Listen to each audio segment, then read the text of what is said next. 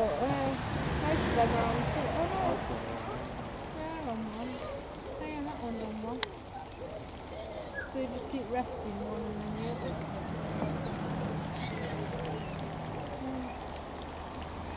You chopping it in the water, going, Yeah. it's, it's chewing the water, get all the little bits out of it. Sifting it through its uh, beak, I think.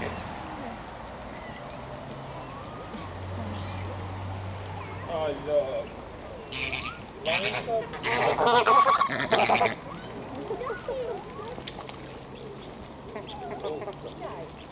and Lisa.